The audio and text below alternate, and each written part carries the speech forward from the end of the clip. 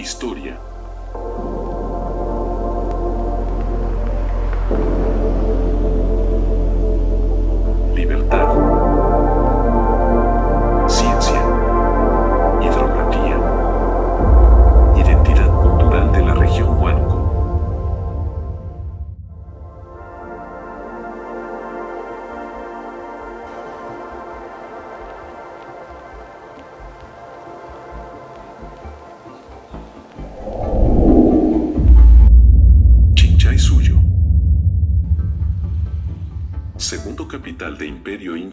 Inca en Huánuco Marca, conocido también como Huánuco Viejo. Es un legado arquitectónico de la fase incaica tardía, considerada la más importante de la región, cuya construcción se inició en el año 1460 después de Cristo, pero fue interrumpida en 1536 por la conquista española. Construcción que fue diseñada por Huayna Capac, construidos por los arquitectos incas. Consta de cinco portadas estrictamente delineada al sol naciente creador de los incas y el Usno, donde está el observador ocular de allí se ve las portadas de ingreso y la llegada de Capac Ñansur. La ciudadela inca estaba cercada por una gran muralla, que para la invasión española esta comarca inca estaba administrada por el príncipe inca Iyatupa, heredero de los incas hermano de Huáscar y Atahualpa, Inés Guaylas, Manco Inca, Tupac Amaru, Zaire Tupac y Toparpa. La monumental ciudadela fue interrumpida por la invasión española, quedando saqueada, quemada las viviendas, destruida por los españoles. Quedando abandonada el último bastión de los incas por siempre, hoy solo es sitio turístico.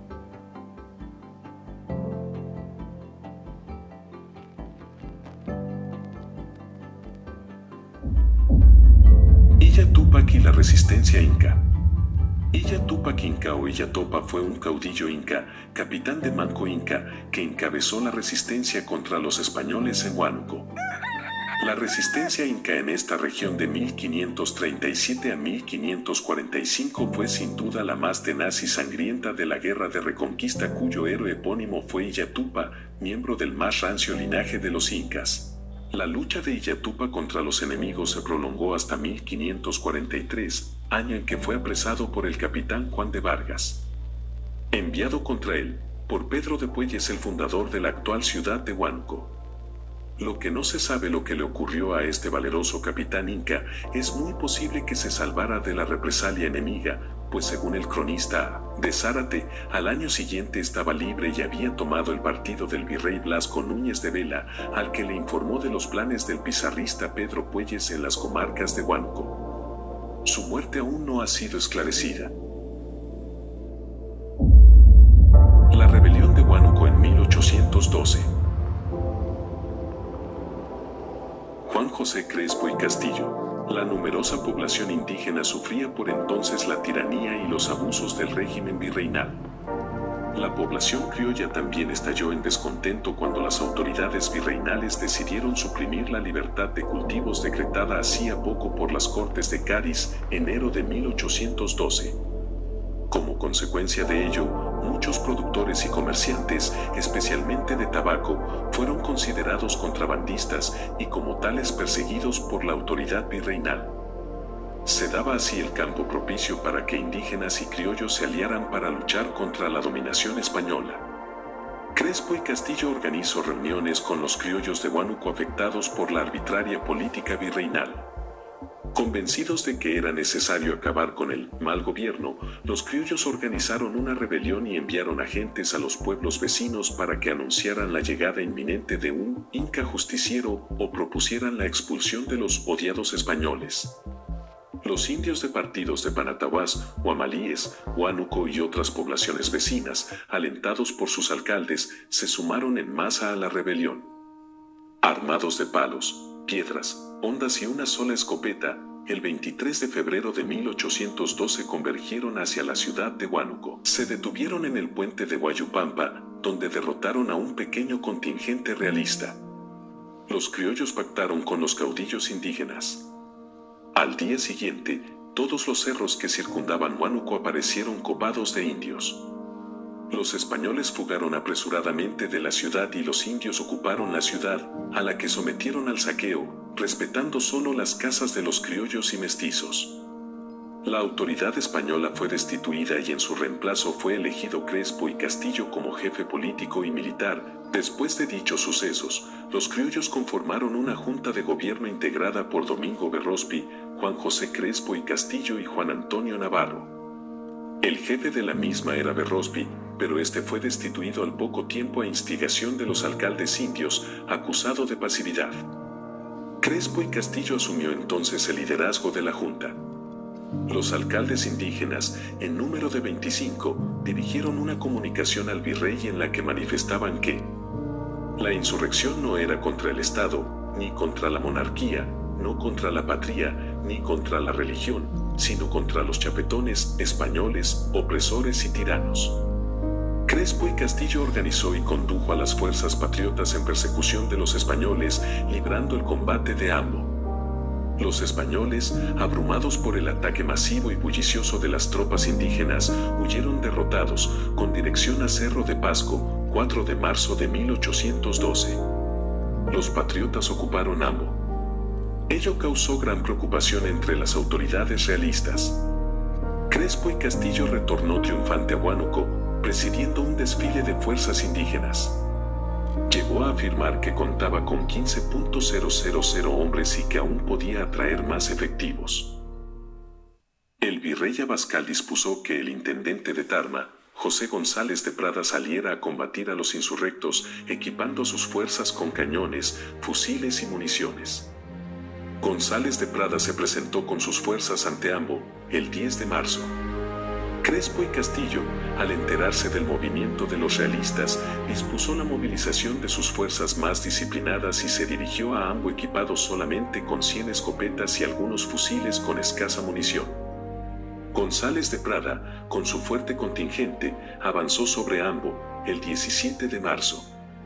Los indígenas bajaron de las alturas que circundan Ambo y valerosamente se enfrentaron a las tropas realistas, pese a no contar con armamento adecuado. Cientos de ellos fueron masacrados y unas decenas capturados. A este encuentro sangriento se conoce como el combate de Puente de Amo. Los patriotas abandonaron Ambo y pasaron a Huánuco, y aunque Crespo y Castillo quiso organizar la resistencia, optaron finalmente por retirarse a los poblados vecinos. González Prada salió de Huánuco en persecución de los cabecillas insurrectos que contaban con un ejército de 2.000 hombres. Las fuerzas patriotas y realistas se encontraron cerca del mediodía y se libró una encarnizada y desigual lucha, cayendo abatidos cerca de mil patriotas. Los indígenas se dispersaron y los cabecillas fueron capturados por González Prada. Crespo y Castillo, juntamente con el alcalde pedáneo de Guamalíes José Rodríguez y el curaca Norberto Aro, fueron enjuiciados sumariamente y ajusticiados con pena de garrote el 14 de septiembre de 1812 en la Plaza Mayor de Huánuco. Antes de morir Crespo y Castillo dijo a viva voz, muero yo, pero mil se levantarán para ahorcar a los tiranos. ¡Viva la libertad! Leoncio Prado A los 12 años, Leoncio Prado ya era cabo en el regimiento de lanceros de la Unión. A los 13 años dejó el Colegio Guadalupe para combatir contra los españoles. Luego participó en el combate del 2 de mayo de 1866 en el Callao y fue ascendido al grado de alférez. Desde niño se sintió fascinado por la carrera de las armas, le fascinaban los ejercicios militares. El 1 de abril de 1861 vio cumplidos sus sueños antes de cumplir los ocho años. Incorporación a la Armada culminada la revuelta y establecido el nuevo gobierno, a los 13 años de edad, Leoncio interrumpe sus estudios en el primer Colegio Nacional de Perú de Nuestra Señora de Guadalupe para ser incorporado como guardia marina en la fragata Purímac, unidad que formó parte de la escuadra del capitán de navío Manuel Villar. El 7 de febrero de 1866 llegaron hasta el apostadero aliado las fragatas españolas Villa de Madrid y Blanca, entablándose un combate que sería conocido como combate de Abtao. La acción se redujo a un intenso bombardeo a gran distancia que no produjo daños significativos en ninguno de los dos bandos. Al día siguiente los buques españoles partirían de la zona para informar de la situación de los aliados. Por esta acción, Leoncio recibiría su primera medalla de guerra. Combate naval del 2 de mayo. Ante la inminencia del combate en el Callao, se improvisan defensas, las playas se llenan de parapetos y trincheras para repeler el ataque. En la madrugada del día 2 de mayo, Leoncio en su casa le dice a su primo Nazario Rubio, acompáñame que me voy al Callao, de cualquier modo, mi puesto no está en la escuela, está en el combate, como en Abdao. El presidente Mariano Ignacio Prado dispuso que su hijo, Leoncio, partiera inmediatamente en una expedición que salía en viaje de exploración a la selva amazónica peruana. Así, Leoncio Prado se unió a dicha expedición. En la guerra por la independencia de Cuba. En 1874, partió para Cuba, acompañado por su hermano Justo y su medio hermano paterno Grocio que se alistaron también en el ejército libertador. Toma parte Leoncio Prado en las principales acciones de guerra, pero no está satisfecho. Cree que su aporte personal no es del todo eficaz.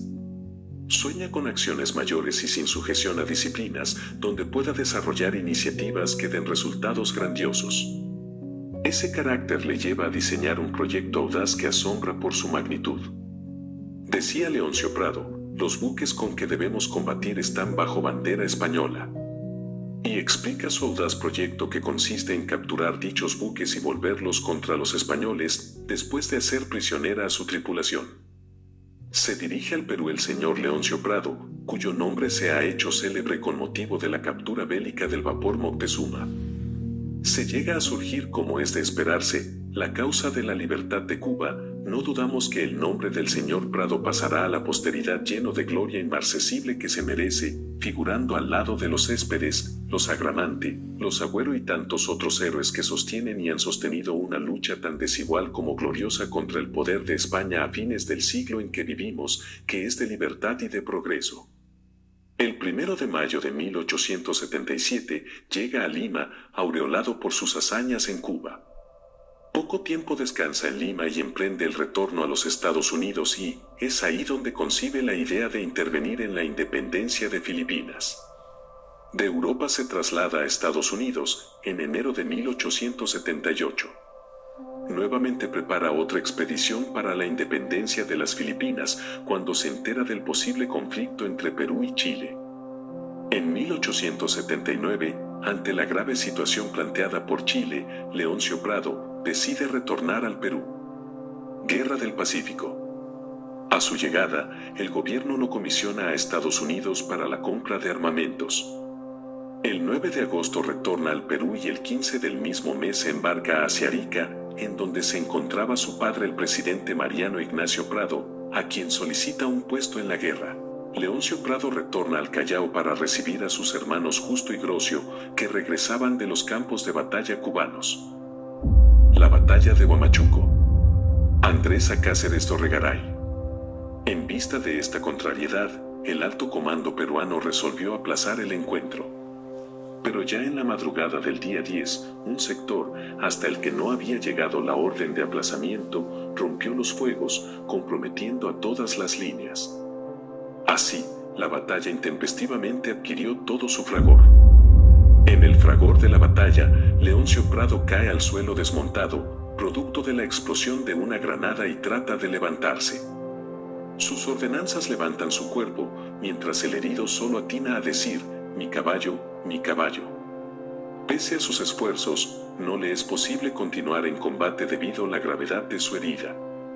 Esquirlas de la granada chilena le ha astillado la pierna.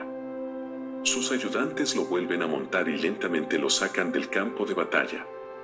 Tras él solo queda en el escenario bélico el desaliento precursor de la derrota. Muerte captura del coronel Leoncio Prado.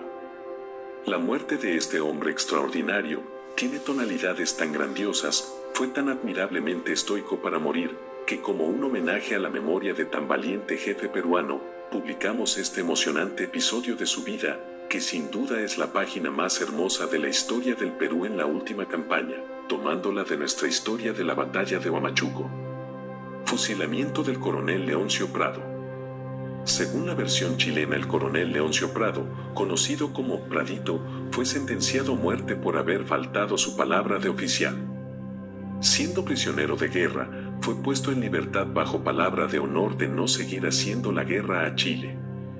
Esta era la única pena posible, para quien, a pesar de haber dado su palabra, fue capturado a consecuencia de una cruenta batalla. Luego pidió un lápiz y escribió la siguiente carta, Huamachuco, 15 de julio de 1883. Señor Mariano Ignacio Prado, Colombia. Queridísimo padre, estoy herido y prisionero, hoy a las a las 8.30 debo ser fusilado por el delito de haber defendido a mi patria. Lo saluda su hijo que no lo olvida Leoncio Prado.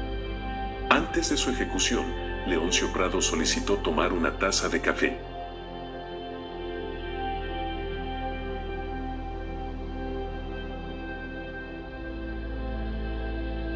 se mandó fusilar al militar que había ganado el corazón de sus enemigos, dicen que los integrantes del pelotón de ajusticiamiento dispararon sus armas con los ojos nublados por las lágrimas. La muerte de Leoncio Prado se valoró como la de un héroe. Tomó la cuchara, le pegó un golpecito para limpiarla, enderezó un poco más el cuerpo, se irguió, saludó masónicamente con la cuchara, pegó pausadamente los tres golpes prometidos, sonó una descarga y, dulcemente, expiró en aras de su patriotismo, por su nación, por el Perú.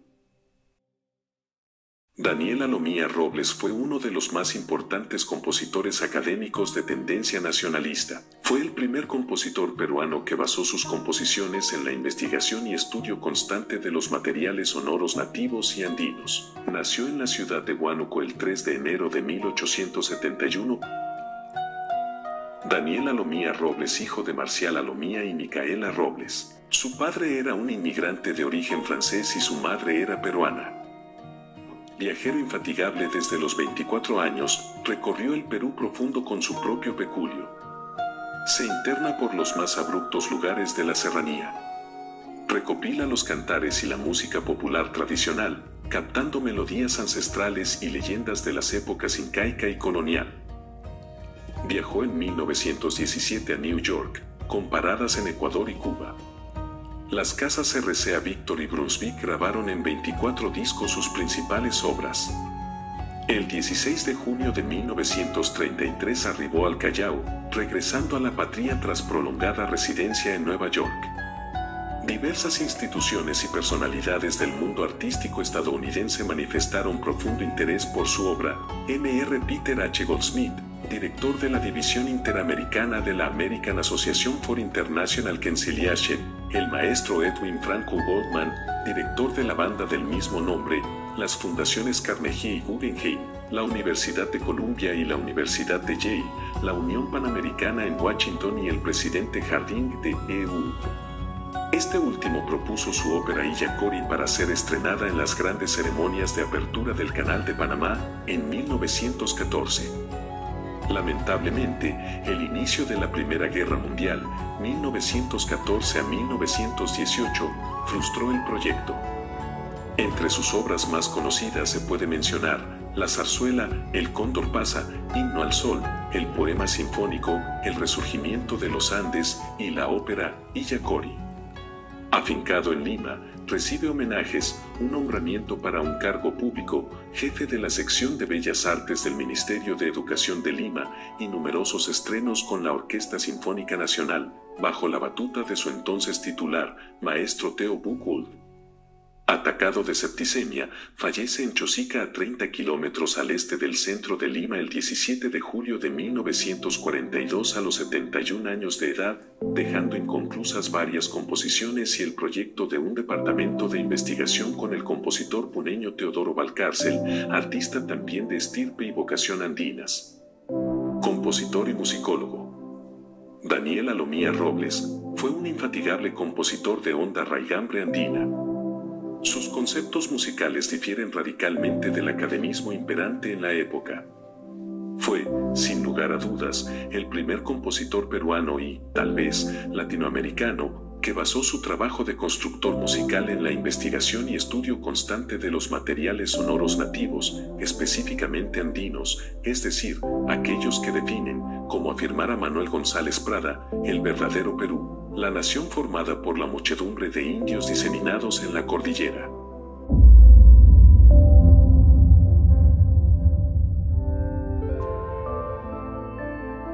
Javier Pulgar Vidal. Fue destacable el papel que jugó Javier Pulgar Vidal en el ambiente político. A propósito, la señora Margarita Baiber recordaba que las cartas que escribía Aya de la Torre, conocido dirigente político y fundador del APRA, cuyo asilo en la Embajada de Colombia en Lima durante cinco años tuvo amplia trascendencia, llegaban al Ministerio de Relaciones Exteriores de Colombia por medio de la valija diplomática, luego la Cancillería entregaba la mayor parte de ellos a Pulgar Vidal para su posterior distribución. De esta manera Javier se encargó durante varios años de hacer llegar las cartas a su destino final. Además, los artículos de Haya de la Torre escritos durante su asilo se publicaron con la firma del Javier Pulgar Vidal, pues no podían figurar con un seudónimo, por lo que debía emplearse el nombre de una persona que gozara de prestigio intelectual. Pulgar Vidal tuvo además de una preparación académica, una profunda formación ideológica, cuyos principios se reflejaron ampliamente en el diseño de los programas de las primeras facultades y, especialmente, en su nombre, Facultad Indoamericana de Recursos Naturales, su regreso a Perú, en 1958 se reincorporó a la Universidad Nacional Mayor de San Marcos y un año después creó la Cátedra de Recuperación de Recursos Naturales. En 1960, gracias al diseño y gestión que realizó y con el apoyo económico de las comunidades de Junín, Pasco, Huánuco y Huancavelica fundó la Universidad Comunal del Centro del Perú, con 12 facultades inéditas, siendo elegido su primer rector, creando, además, filiales en diferentes regiones del país. En 1961, el gobierno nacionaliza la universidad, sin reconocer a sus fundadores sus derechos ni la inversión que habían realizado.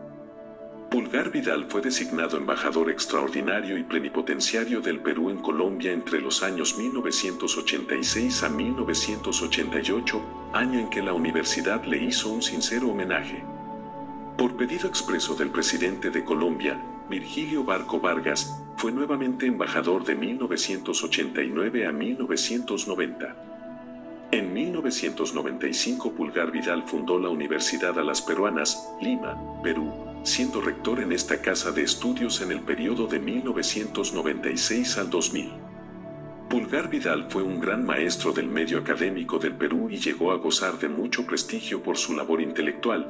Fue autor de más de 50 publicaciones sobre temas de carácter científico. Fue fundador de seis universidades en el Perú, la Universidad Nacional del Centro del Perú, con sede en Huancayo, la Universidad Nacional Federico Villarreal, con sede en Lima, la Universidad Nacional Hermilio Valdizán, con sede en Huánuco, la Universidad Nacional Daniel Alcides Carrión, con sede en Cerro de Pasco, la Universidad a las Peruanas, con sede en Lima y otros campus en el país, y la Universidad Nacional José Faustino Sánchez Carrión, con sede en Huacho.